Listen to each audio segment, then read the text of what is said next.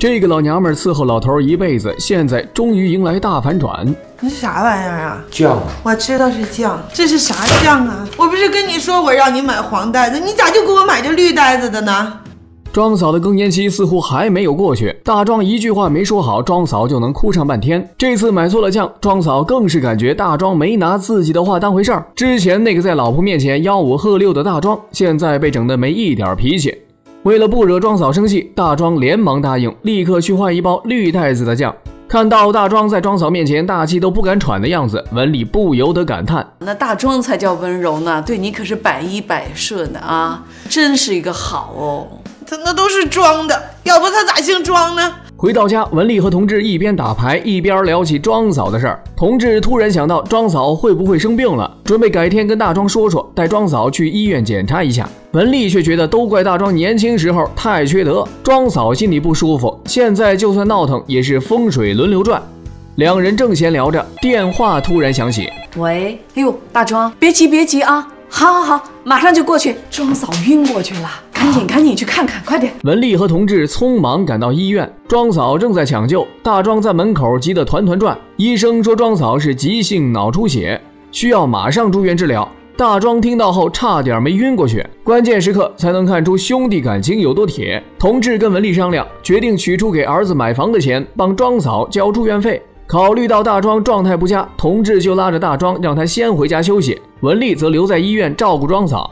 庄嫂这次福大命大，抢救过来了，但是却成了偏瘫，嘴也歪了，话也说不了。庄嫂吃不下，喝不下，就想见见大庄。大庄推门进来后，庄嫂的眼泪立刻流了下来。看到相守半辈子的老伴儿，如今成了这副模样，大庄心里一阵后悔。如果能早一点发现庄嫂有高血压，早一点看医生也不会是现在这样。大壮十分难过，年轻那会儿总觉得自己挣钱养活这个家，自己就是家里的擎天柱。他老了老了，我才发现支撑这个家的擎天柱是你。一贯不正经的大壮，此刻却像个无助的孩子，失声痛哭。也许这就是爱情最美的样子。青丝白发，风雨同济。这个老太婆半身不遂，闺蜜建议请个保姆。可他却怎么都不愿意，原来是怕自家老头子惦记上人小姑娘。不是钱，不要小姑娘呀，咱找个中年妇女好吗？不不不不不要不要！别看庄嫂和大庄年轻时候不怎么样，临老了感情却好的不得了，文丽都羡慕了。庄嫂却还是不放心大庄，等我死了，我再让别人进我家门。咱找个男保姆行不行？那老头子不净惦记着小姑娘。那咱就不行，找个帅小伙伺候咱呢。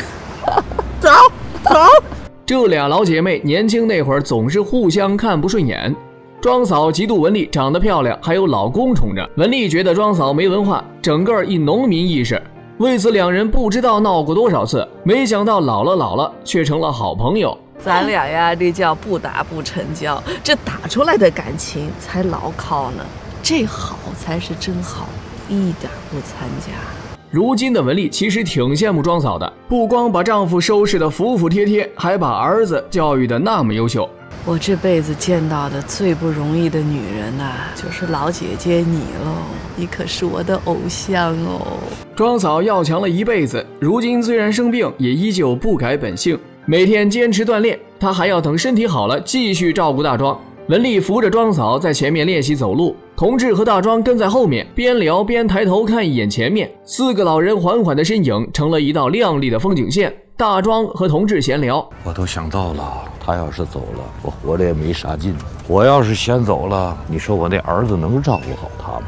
想想大庄年轻那会儿多风流啊，大姑娘小媳妇儿，凡是从眼前过的都得招惹一下。老了老了，反倒依恋起老伴儿。其实大庄早已看透，年轻那会儿，咱们不是不懂事儿吗？现在想想啊，都觉得可笑，整天招猫逗狗的，有啥意思？招来招去，谁也不如咱走到老的老伴儿好啊！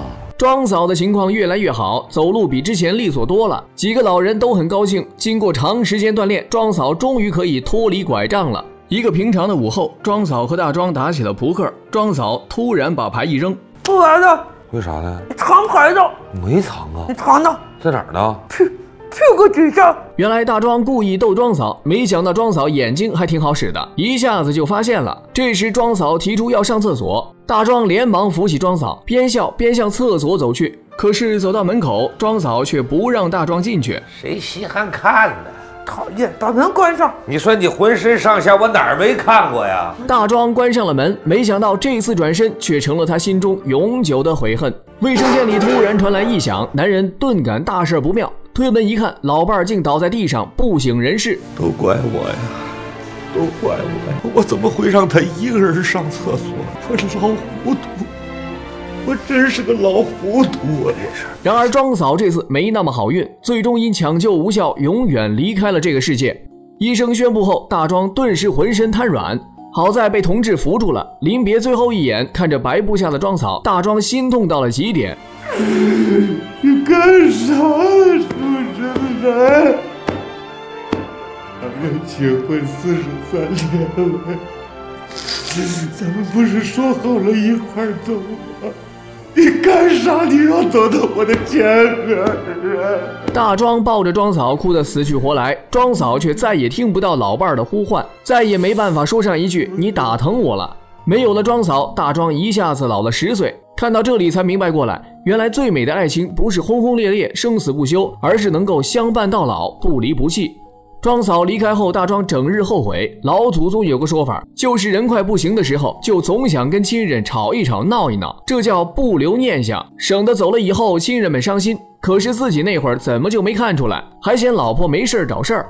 你说我咋这么糊涂呢？别责怪自己了。你待淑珍好，她心里头明白。我对她咋样，我心里有数。我真想让他再骂我几句，怎么说没他就没了呢？庄嫂的去世对文丽两口子冲击也不小，两人终于感受到相守到老的难能可贵。同志紧紧握住文丽的手，心里感到无比踏实。一年后，大庄也从悲痛中走了出来，这一切都要归功于美美的开导，亲眼见证了老友的孤单。同志劝大庄考虑一下美美，当年大庄娶了庄嫂，负了美美，以致美美终生未嫁。如今两人要是能走到一起，相互做个伴儿，其实也不错。有时候啊，也动过这个念头，啊，后来一想啊，都这么大岁数了，还折腾啥呀？大庄和梅梅最终还是没在一起，不知道是不想折腾呢，还是放不下庄嫂。